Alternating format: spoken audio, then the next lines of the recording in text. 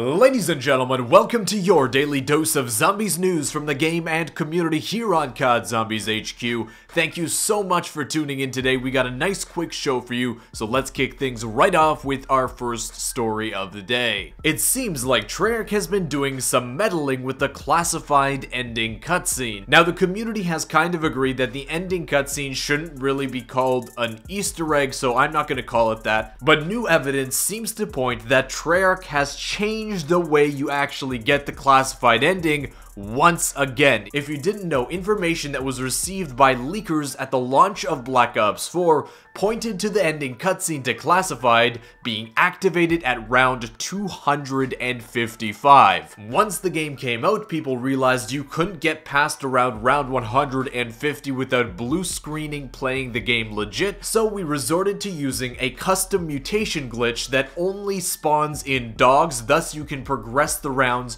much faster, you to get to around 150 without blue screening, where it was discovered that Treyarch has changed the round you get the cutscene from round 255, which it was at launch, to round 150, where we know it was triggering. Well, it seems that Treyarch has changed that once again. Zombie streamer Oh Brave One did a run on Classified using the custom mutations glitch just like everybody else did to get to round 150, trigger the cutscene, but when he got there, the cutscene did not play. Now, at first I thought, hey, in the past I've seen people get to round 150 and the cutscene didn't trigger because they didn't do the custom mutations glitch correctly. So I DM'd Oh Brave One, by the way you can find a link to his Twitch channel down in the description, definitely drop a follow there, just to confirm that the glitch game was in fact being done on classic and normal difficulty where the easter eggs on the map were enabled and that being the mode and difficulty setting where the cutscene has been achieved in the past. He 100% 100% confirmed that he reached round 150 in a classic,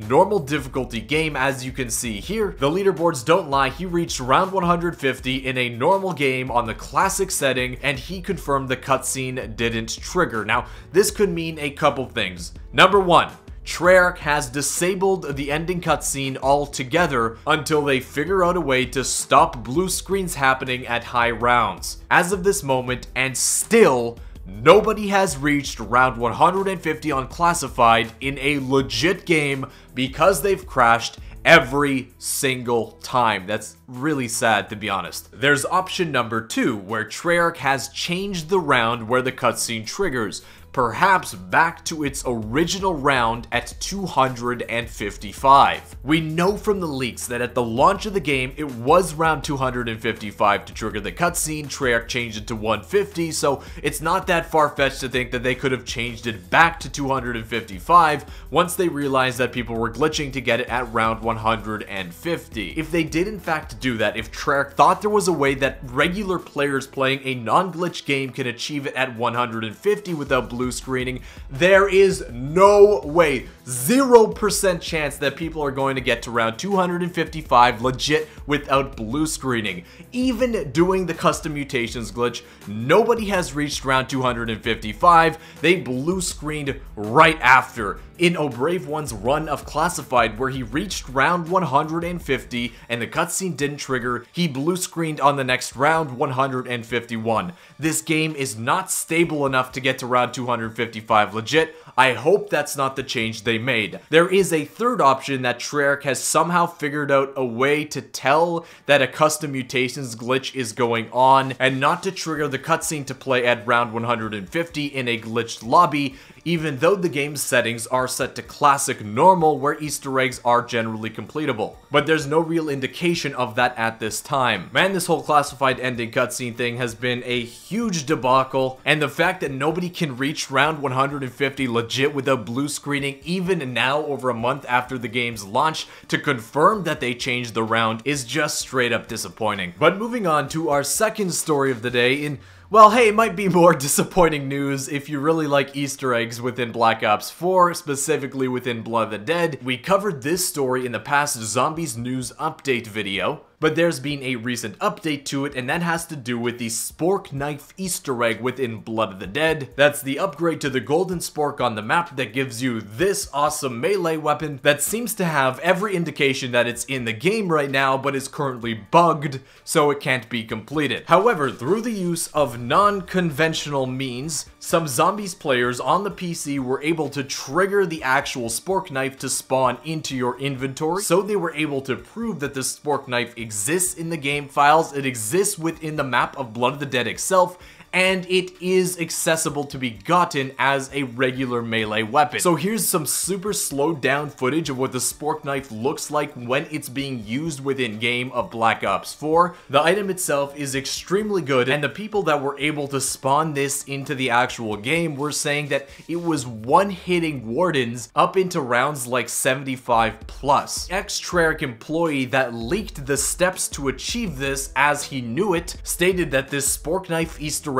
upgrade quest is the hardest one to achieve within Black Ops 4 Zombies.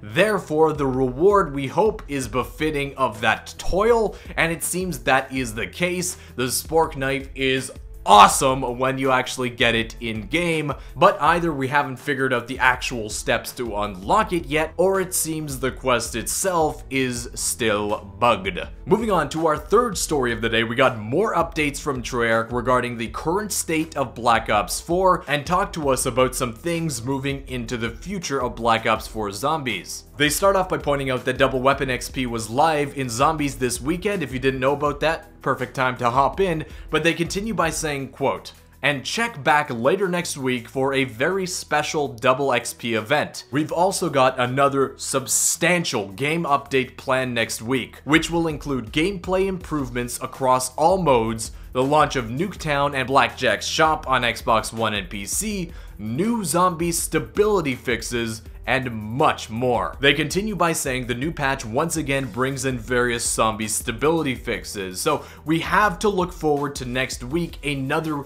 major game update into Black Ops 4. The last game update brought a speed cola into the map, so hopefully this upcoming game update will bring something substantial into zombies as well. Now Treyarch themselves have addressed the controversy surrounding speed cola in Black Ops 4. If you didn't know, if you compare side by side with Black Ops 3 to Black Ops 4 on weapons that don't have any attachments on them, the reload speed in Black Ops 4 Zombies with Speed Cola is the exact same reload speed in Black Ops 3 without Speed Cola. So essentially reloads in general are much, much slower in Black Ops 4 than they were in Black Ops 3. Treyarch addressed this by saying, quote, this week in Zombies, we introduced a modifier to the perk system, lovingly known as Speed Cola in previous games, that, that increases weapon reload speed. In Black Ops 4, this modifier adds a plus 33% reload speed improvement, and then when combined with fast mags or hybrid mags on weapons that can actually use those attachments,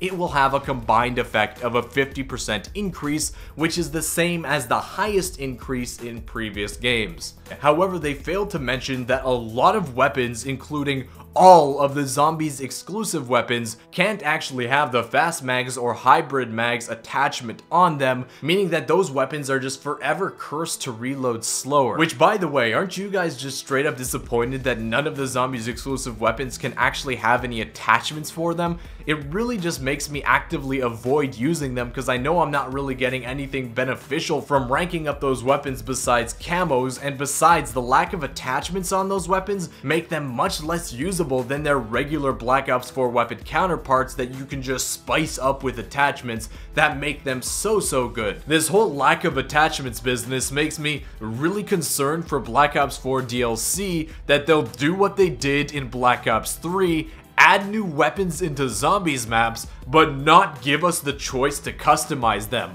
In Black Ops 3, new weapons that were added into zombies maps had Treyarch choosing what attachments they put on those weapons, where we couldn't actually customize them like we could regular guns in Black Ops 3, Hopefully they fix that for Black Ops 4, but this whole thing does not make me optimistic that they'll end up doing that for the DLC season. But hey, that wraps up today's show, guys. I want to thank you very much for watching. If you enjoyed it, be sure to tippity tap that thumbs up button down below. Subscribe to the channel if you haven't already for more great zombies news updates to come. A massive shout out to everybody in the notification squad with that bell icon turned on. You guys are awesome. But I want to thank you once again for watching, and I'll see you with it. No, no, no, cut the outro. Look at this gameplay. I'm right in front of the Pack-a-Punch machine. It doesn't even give me the option to pick up my Mozu. I run back to quickly try to pick it up once more, and it's just like, nope, this is my Mozu, not yours.